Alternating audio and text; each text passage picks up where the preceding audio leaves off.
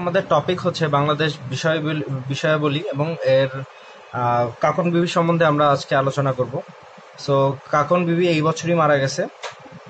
তিনি মারা গেছেন একুশে মার্চ দু হাজার আঠারো সালে, একশো তিন বছর বয়সে। সো কাকন বিবির প্রকৃত নাম হচ্ছে কাকাতো হেন ইঞ্চিতা তিনি পাঁচ নম্বর সেক্টরের একজন সম্মুখ যোদ্ধা ছিলেন। উনিশশো পনেরো সালে খাসিয়া পারদেশে পাহাড়ের পাদদেশে তার জন্ম। তিনি হচ্ছে খাসিয়া সম্প্রদায়ের। উনিশশো ছিয়ানব্বই সালে বীর প্রতীক হিসেবে ঘোষণা পান।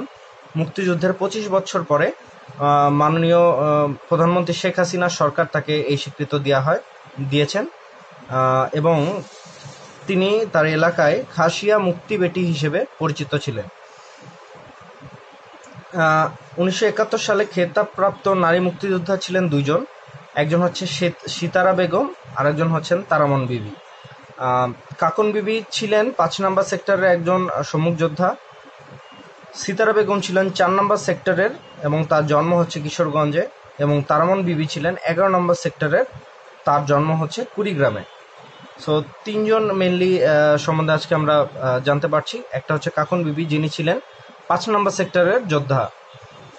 সিতারা বেগম চার নম্বর সেক্টরে এবং তারমন বিবি এগারো নম্বর সেক্টরে।